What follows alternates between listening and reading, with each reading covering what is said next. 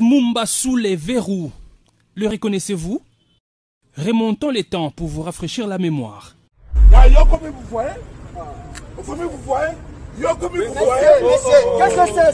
C'est lui, l'homme fort, que dis-je, l'homme qui se croyait plus fort que la République incarnée par les policiers en service. Visiblement, le seul péché des agents était d'avoir interpellé Tismumba et compagnie qui circulaient pendant les heures du couvre-feu encore en vigueur à Kinshasa.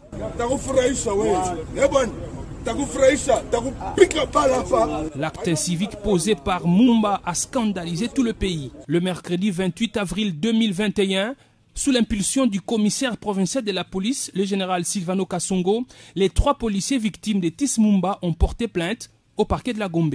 Ils ont été conduits par le colonel Miguel Bagaya, chef du département sécurité publique et chargé des opérations. Sous pied de l'article 44 de la loi numéro 13 013 du 1er janvier 2013 portant euh, statut du personnel de carrière de la police nationale, le policier a droit à une protection juridique, judiciaire, sociale et ne peut faire l'objet de quelque nature que ce soit des insultes, des menaces, des diffamations.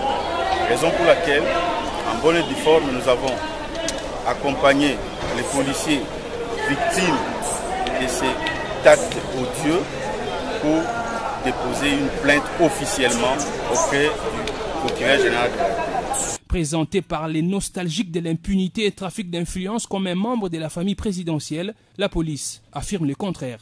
Contrairement à ce qui s'est dit dans les réseaux sociaux, ce qui est véhiculé dans les réseaux sociaux, en rapport au statut du présumé auteur, je confirme ici que ça n'a rien à voir avec la famille du chef de Ça, je le confirme.